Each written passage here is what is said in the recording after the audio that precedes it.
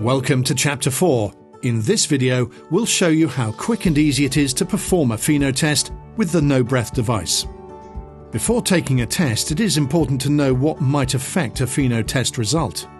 As some foods high in nitrates can affect a FeNO reading, patients should not eat or drink for at least 60 minutes before the breath test.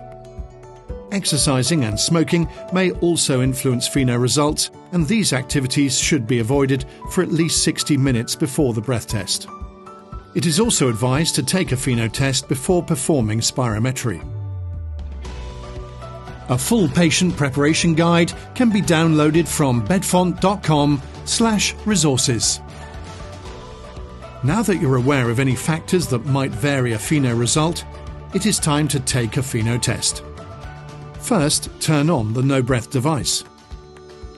Where possible, it's preferable that the patient attaches their own mouthpiece.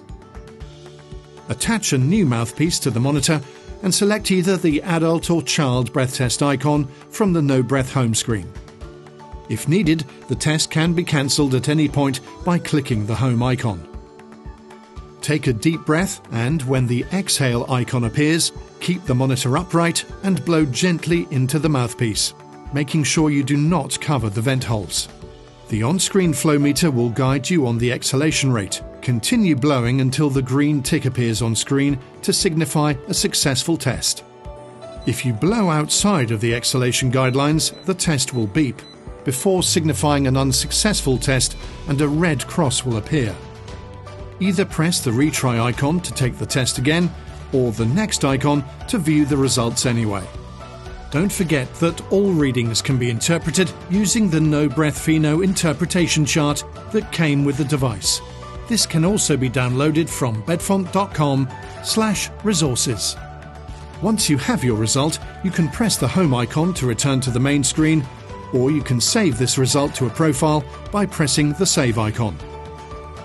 If you choose to save your results, you will be asked to enter your four digit PIN if it's enabled and you haven't entered it in the last 30 minutes. Entering the PIN will display the list of profiles on the device. Select the profile you wish to add your result to, or select an empty slot to create a new profile.